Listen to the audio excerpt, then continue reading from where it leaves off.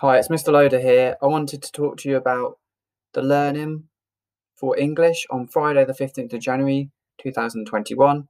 The WALT is to use descriptive language to describe a character, and we're going to be thinking about the giant.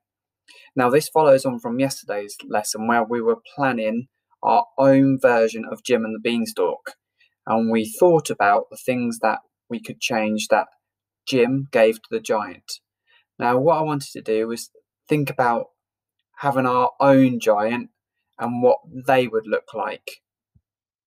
Um, now, before we do that, I'd like to just look at the character from Jim and the Beanstalk. Let's look at the giant. Um, now, what words would could you come up with to describe the giant from the story? Now, when I say words, I'm thinking of adjectives. What adjectives could we use to come up with to describe the giant now? You might want to pause the video and discuss that with someone. Okay, and maybe even make a list because they might come in handy later.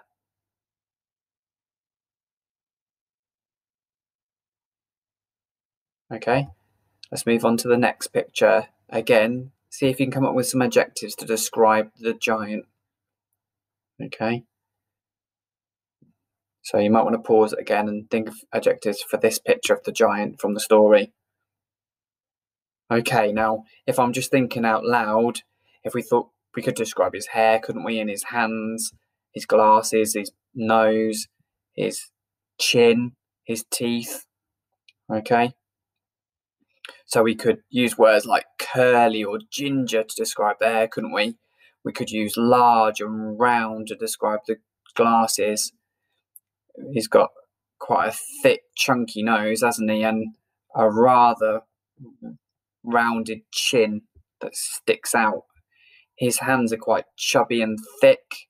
His fingers are quite chubby and thick, so that's something that we could discuss as well, couldn't we? Okay, and if we were saying about his teeth, his teeth are they're false teeth, aren't they? So they're white and they look rather clean, don't they?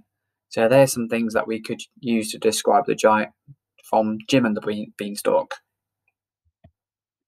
So if we look at these images, they might give you some inspiration for your own um, giant.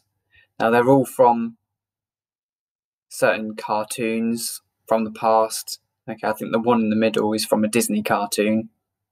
Okay, from years and years ago. So might want to have a look at them and just look at how they're different.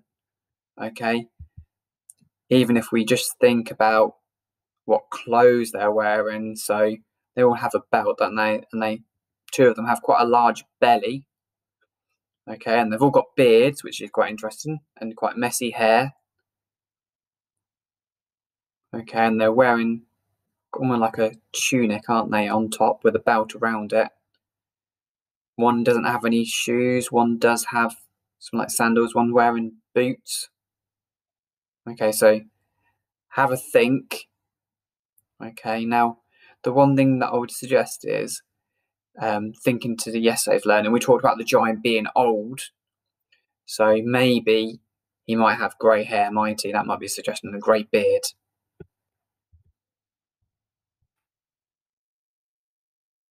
So you might want to now pause your video and I'd like you to draw your a picture of your own giant. Now it doesn't have to be a male giant, does it? It could be a female giant if you wish it to be. Okay. And again, just to re- reiterate, the giant should be old.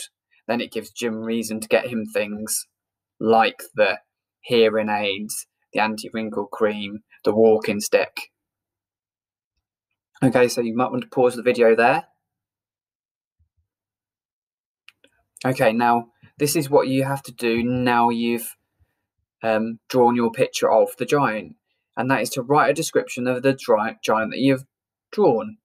You might want to describe their appearance and describe their personality, what they are like as a person. Now, the fly high challenge is to start sentences in different ways.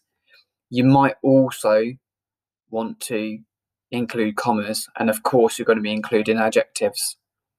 So, I have done an example on the next page. Okay, I've even come up with a name for my giant. Now, I I didn't draw him, I just borrowed him from the internet. Okay, I'll just read it to you. The giant's name is Dave. Now, if we look at that, it's got a capital letter and a full stop, and Dave has got a capital letter because remember, it's the name of the person. The giant is massive and he has a rather large belly. He has a la- light brown top, dark brown trousers, and he doesn't wear any shoes.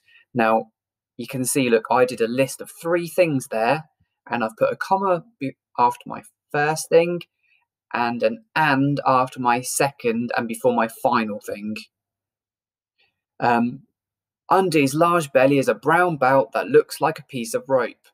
Now, I put in the fly high challenge about using different sentence starters. Now, position words can be a way of starting in, in a different way. His hair is brown and messy. And then look, I've started in a different way again. Covering most of his face is a rather scruffy brown beard. Now, that would be a noun phrase, wouldn't it? So you can see there, the first part is describing his appearance. He's a very friendly giant and he's more than willing to share his breakfast or dinner with you. The giant always has a gigantic smile on, a, on his face, so I started to describe his appear his personality there. Okay, and that's the end of, of the lesson. Okay, when you finish, you might want to just share that with someone and they can check over have you used capital letters and full stops? Were you able to use commas? Were you able to start sentences in different ways? And of course, have you used adjectives?